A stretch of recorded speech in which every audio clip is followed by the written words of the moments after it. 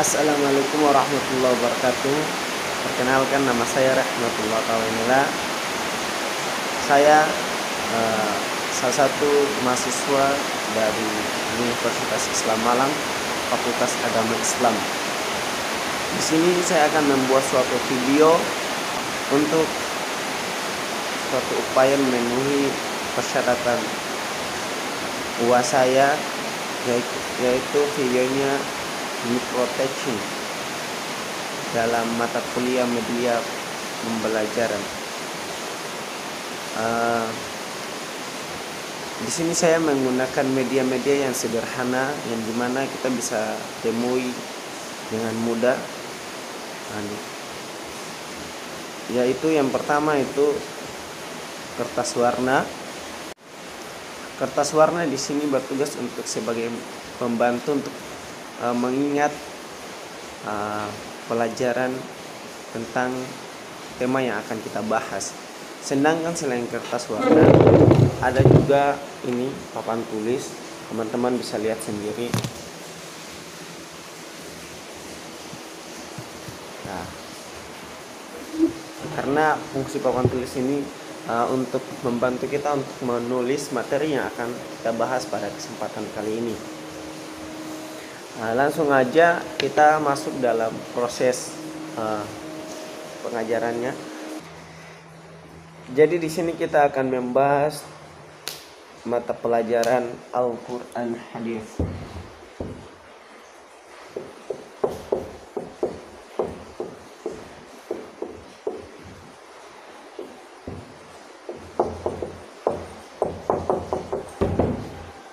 Al-Quran Hadis dengan babnya yakni izhar. Halqi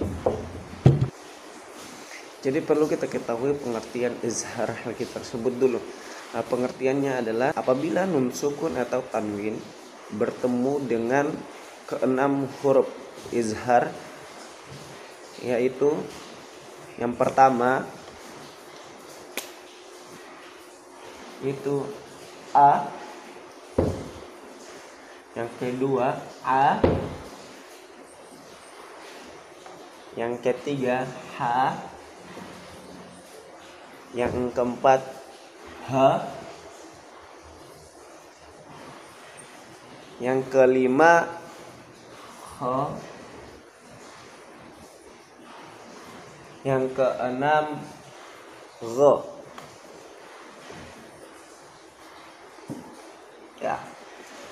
Apabila nun sukun atau tanwin bertemu dengan huruf keenam huruf ini, maka hukum bacaannya harus diizharkan.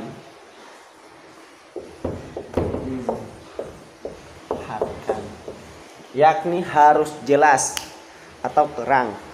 Nah, jadi uh, setelah kita mengetahui bahwa hukum baca izhar hal tersebut dengan terang atau jelas apabila nun sukun atau tanwin bertemu dengan keenam huruf ini.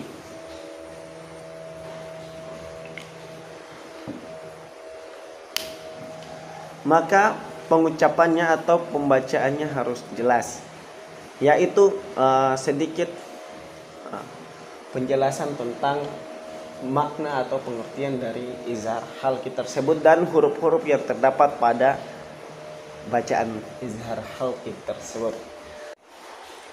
Ah, nah, setelah kita uh, telah mengetahui uh, huruf-huruf yang terdapat pada izhar hal kita atau bacaan izhar tersebut, maka saya di sini akan menggunakan suatu media pembantu dalam proses belajar metode tersebut atau micro pada kesempatan ini yaitu kertas warna.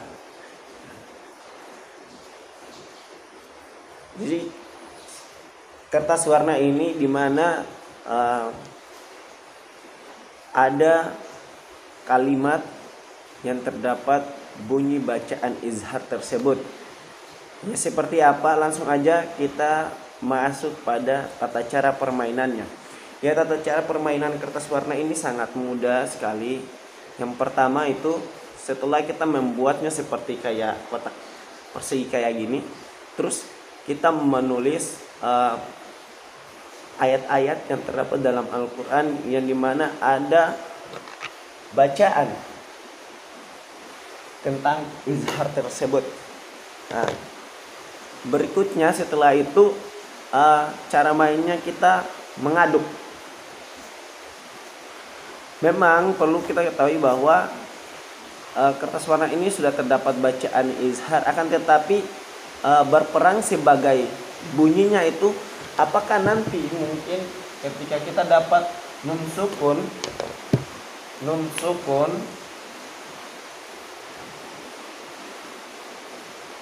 atau tanwin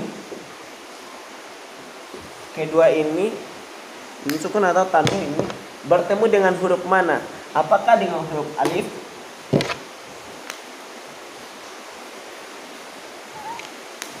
atau huruf A, huruf A, huruf H, huruf O, atau huruf G. Atau huruf G.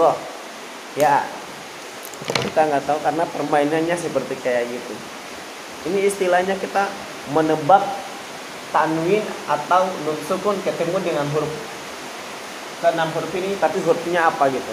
Langsung aja kita masuk dalam proses permainannya.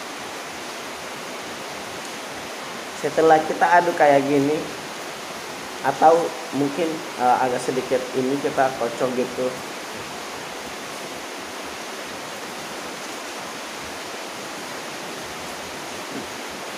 oke setelah itu kertasnya dibuat kayak gini yang di mana kita harus memilih salah satu dari kartu ini. Oke, langsung di sini saya pilih yang ini. Setelah dipilih, yang harus dilakukan adalah kan tadi saya sudah jelaskan terdapat ayat-ayat Al-Qur'an di dalamnya, maka harus dibaca atau ditunjukkan kepada teman-teman. Jadi ini adalah tulisannya. Teman-teman bisa lihat dulu tulisannya udah jelas nah, oke selanjutnya saya akan coba membacanya di at'amahum amanahum min khawf Oke. Jadi kita masuk dalam pencarian kata atau kalimat yang terdapat hal tersebut atau bacaan izhar tersebut. Ya kalau kita perhatikan di sini ada enam kita mendapat min khaufi min khaufi kita mendapat kalimat min khaufi min khaufi fi min khawfi. Nah ini min khawfi ini masuk dari suatu ungkapan izhar. Kenapa? Karena di sini terdapat nun. Tasdid atau nun mati bertemu dengan huruf ho nah di sini. Perannya di sini. Bisa teman-teman perhatikan. Di sini pelan nun. Tanwin. Nun. Nun sukun. Bertemu dengan huruf ho jadi bacaannya apa? Ini zahar harus jelas. Dan terang. Makanya itu bunyinya bukan mil khawfi. Kalau mil khawfi itu salah atau min khawfi. Nah itu salah juga. Tapi bacaannya harus jadi min khawfi ya seperti kayak gitu. Salah satu contoh izhar halkit pada tulisan ayat ini. Yang di mana perang dalam izharnya terdapatnya di akhir di akhir ayat. Min khawfi. Nah itu. Oke selanjutnya kita akan coba mencari uh, huruf-huruf salah satu huruf yang lain juga untuk memperkuat pemahaman kita tentang izhar hati tersebut. Kita acak-acak dulu setelah kita acak-acak ya sekarang kita memilih. Kita memilih. Saya ini pilih yang agak terang. Eh enggak. Agak gelap sedikit. Oke teman-teman. Di sini saya telah mendapat suatu bacaan potongan ayat Al-Quran atau salah satu ayat Al-Quran yang berbunyi gini.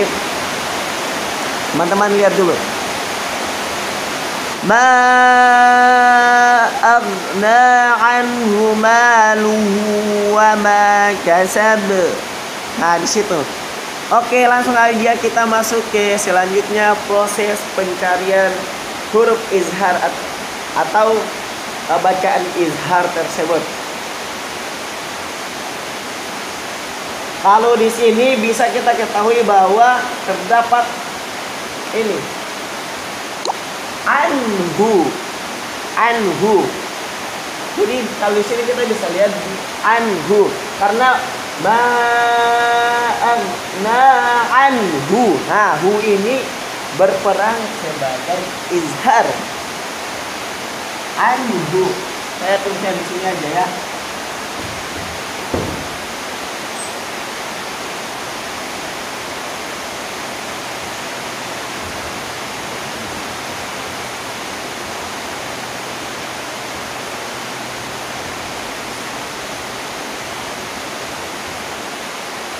Ini.